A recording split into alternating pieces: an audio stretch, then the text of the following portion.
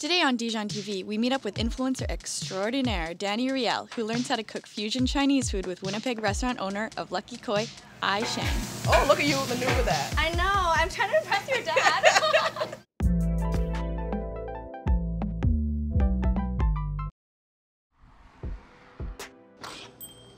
hey. Hey, Danny, how are you?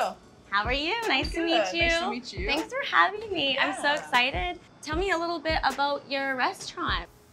I used to work at my parents' restaurant for 15 years. We lived life in the restaurant, me and my siblings. I remember my first day, they were teaching me how to say, like, uh, answer the phone. Oh, yeah. I barely spoke English at the time, and I was just so nervous trying to remember the name of the restaurant. That was really funny. So I just just started like that, and I've been in it since. Oh, I noticed that your parents are in the kitchen. Yes. So they work for you now? And like, how's that going? That's like a 180 flip. Yeah, 180 flip. My parents wanted to retire. Oh, Um, yeah. They wanted me to take over the restaurant. And I said, no, I don't want to do this anymore. I did it for 15 years. And then I decided, no, that's my identity. Like, it's what I want to do, but I just want to make it my way instead Mm. and just change it up. And then now they're ready to come back. I noticed that the branding is like on point. When I first opened this restaurant, I was talking about marketing with my dad. And he's like, oh, yeah, let's hand out flyers. Let's hand out flyers. That's what do we do. No I'm like, honey, we don't hand out flyers no more. And He's Mm-mm. like, then what do you do? Like, Yeah. then yeah, I decided to do more of social media marketing. And they don't even know what's going on. They don't know what Instagram is. They have no idea what's behind the scenes. They don't need to. They don't know? need to. I don't need to explain it to them. I just need to tell them that it's gonna work. So, what are we cooking today? So today we're gonna do uh, dry Szechuan beef, Okay. and we're gonna do wok fried Shanghai.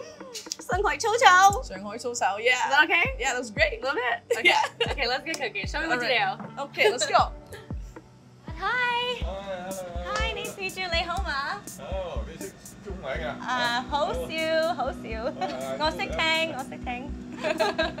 So normally we like to use uh, a little bit of cabbage, onion, celery, and carrots. So Let's get chopping. let's get chopping. Ooh.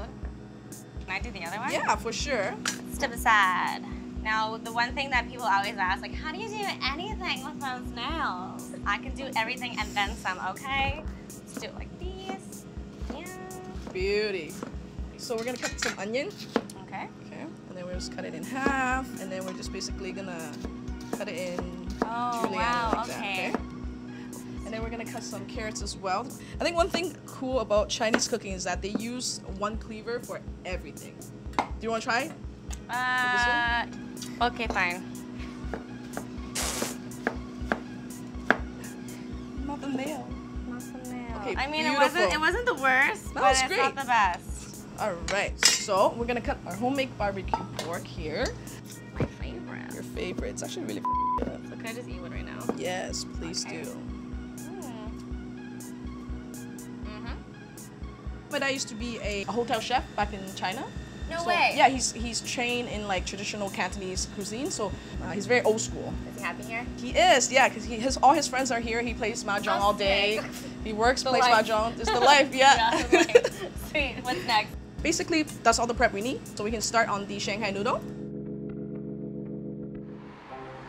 Okay, so we're gonna fry up our veggies first. Yeah. Okay. Okay, I'm going in. Yeah. Two more. Boom. And because the woks are really hot, we don't need to cook it for too long. Uh, We want the veggies to stay nice and crisp. So we're gonna add a little bit of seasoning, one part sugar, half a part salt, and half part MSG. Oh, we're done? Perfect. Yeah, so it's done. We can just plate it now. Okay, let me plate it. Yeah. Center it and kind of drop that in. Oh, look at you maneuver that. I know. I'm trying to impress your dad. Well, we'll make the other two and then we'll get to eating soup. You All want it right. together? Yeah. You, you take that. Okay, we'll move on to the next dishes. All right. So this is my mom. Hi. How are you? Oh, ho. So we're gonna do the crispy Szechuan beef. We have some beef strips cut up already. Can I throw it in? Yeah, let's get your hands dirty. Just gonna put it in a little bit at a time. Okay. Okay. Okay. Okay. Awesome. Okay. Check off a bucket list. Perfect. So we got our beef perfectly done. We're gonna head over and finish the dish. Woo!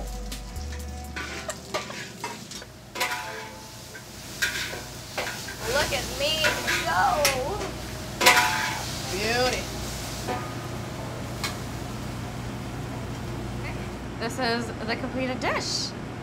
It looks looks so wonderful. bomb. Yeah, it looks good. Let's go. Perfect. It's time to feast.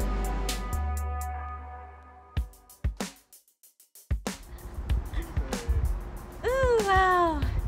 Oh, there's french fries in there. Thank you. What is this? Thank A you. Boy. Oh, wow. Thank you so much for having us and showing me how to cook. I just had one more question. Is 你老板好唔好啊？唔好啊！哇，有冇教错啊？ 黐线你！冇用啊！ they need a raise. Everyone's need a raise. More Thanks money. Again. Yeah, no more money. Thanks again. Thank Take care. you. Bye bye. Okay, what should we dig into? Maybe I will serve you. Yes. Get- Okay. Thank you. You're welcome. I don't know in particularly, but does Chinese you have to do two hands? And manners is very important, right? Like the the youngest person would serve like the oldest. They pour tea, for example. The youngest person pour tea for everyone. They kind of just take on that duty. This is your first your first uh, Shanghai noodle actually. Okay. Mmm. This is my favorite. Mm. Here, why don't you try the um, beef that's green? Okay. The beef that I fried. Okay, you go first. Let's try that. Looks great. Breading's on perfectly. Cheers from afar. Mmm. Yeah, this is good. This is money.